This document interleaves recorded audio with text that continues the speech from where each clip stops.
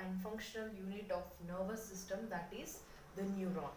These neurons are the structural and functional unit of the nervous system. Okay, this neuron, the structure of neuron, it is having the cell body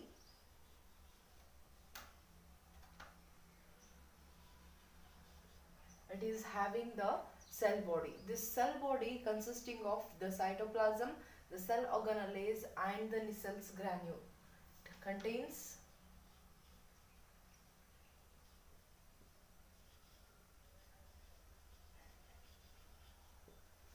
it contains the cell organelle, the cytoplasm and the Nissen's granule. Nissen's granules are nothing but a small granules granular body which is having the RER and the ribosomes. Okay, this Nissen's granule, these are nothing but the fragments. These are nothing but the granules of ribosomes and the RER. You might be knowing what is RER.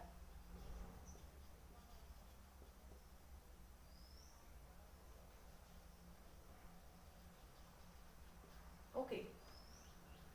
Yes, this is what the cell body.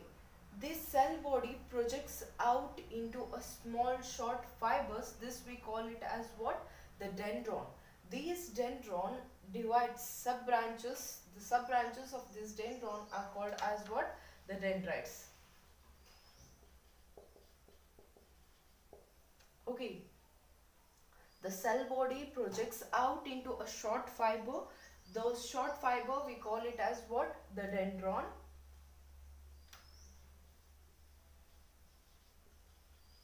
the the sub branches of these dendron we call it as what? The dendrites. Okay. The long fiber running we call it as what? The axon okay. This is the long fiber which is running we call it as what? We call it as the axon okay. Which transmit the impulses away from the cell body. Okay. This axon it is having some sort of cells we call it as what? The schwann cells. The schwann cells. These schwann cells they secrete a sheath around this axon that we call it as what? The myelin sheath. The myelin sheath okay that we call it as what? The myelin sheath. Okay around these axons there are a sort of cells. Those sort of cells we call it as what? The schwann cells.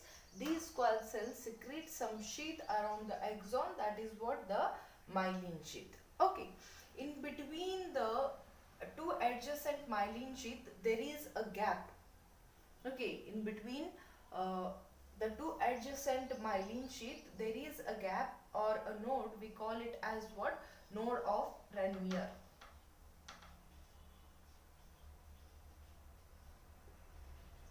we call it as what?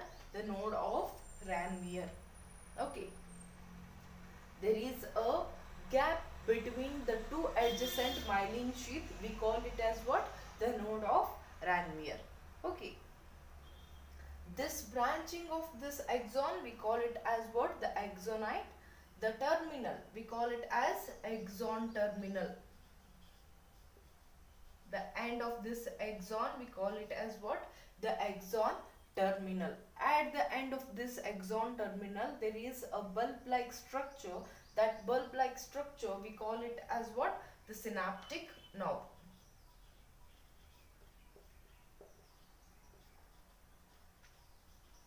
yes.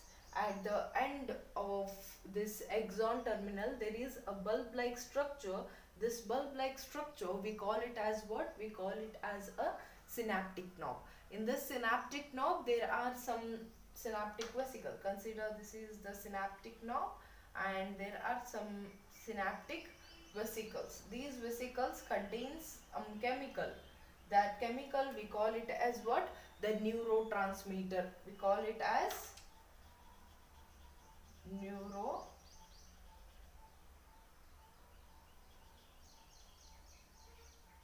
Transmitter. Okay. This is what the structure of neuron the structure of neuron is having the cell body the dendron and the axon part. This cell body consisting of the cytoplasm the cell organelle and the Nissl's granule. These Nissl's granules are nothing but the granules of RER and the ribosomes. Okay the small uh, fiber which is projecting out from the cell body we call it as what? The dendron. The sub branches of this dendron we call it as what? The dendrites. A long fiber which transmits the impulses away from the cell body we call it as what? The axon this axon is having uh, cells around it. Those cells we call it as what the schwann cells. These schwann cells are going to secrete a sheath around this axon. We call that as myelin sheath. Okay. Between the two adjacent between the two adjacent myelin sheath there is a gap. That gap we call it as node of Ranvier we call it as what? The node of Ranvier the end of the axon we call it as what the axon terminal. At the end of the axon terminal, there is a bulb-like structure. That bulb-like structure, we call it as what? The synaptic knob. This synaptic knob is having the synaptic vesicle in it. Those vesicle contains the chemical. That chemical, that chemical, we call it as what? The neurotransmitter. Okay. Yes, based on the presence of the axon and the dendrons, the neurons are classified into three types. One is the unipolar, second one is bipolar, third one is what? The multipolar. Based on the presence of axons and the dendrons, it is classified into three types. One is multi uh, unipolar, bipolar and the third one is what? The multipolar. Okay. In multipolar ha what happens? There is one axon and two or more dendrites. Okay. In multipolar it is one axon and two or more dendrites. Example for this these are found in the cerebral cortex. Okay. These are found in what? These are found in the cerebral cortex. It is having one axon and more dendrites, more dendrites, two or more dendrites. Uh, these are found in what? They are found in the yes cerebral cortex. Whereas this bipolar, it is having one axon and one dendron. One axon and one dendron okay these are found in the retina of eyes. These are found in the retina of eye. Whereas this unipolar it is having the cell body and the axon. There will be no dendrites. These are found in the early embryonic stages. Okay these are found in what? These are found in the early embryonic stages. What happens in the uh, unipolar? Here what happens? There is only one axon and the cell body. There is no dendrites. Okay.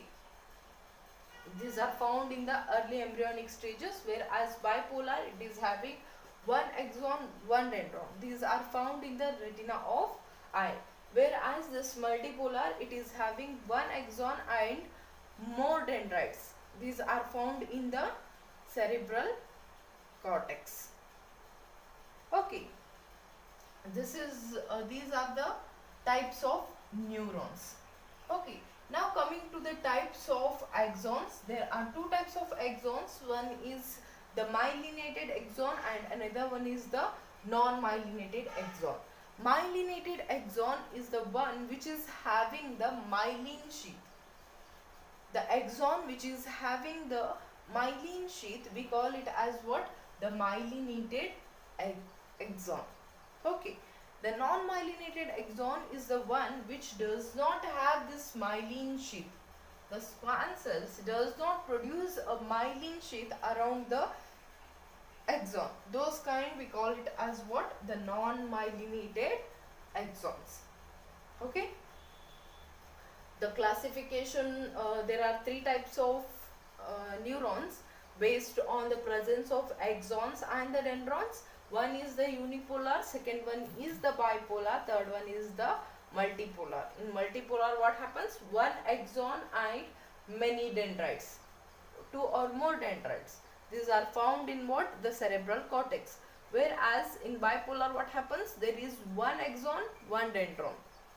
Okay one axon one dendron. Found in the retina of the eye unipolar it is having only axon and the cell body there is no dendron found in the embryonic stages. Then next is the types of axon there are two types of axon one is the myelinated axon and another one is the non-myelinated axon in myelinated axon what happens? There is a myelin sheath there is a presence of myelin sheath around the axon hence the name myelinated axon whereas if this axon does not have a myelin sheath then we call it as what? The non-myelinated axon okay. This is all about the structural and functional unit of our nervous system that is the neuron. Okay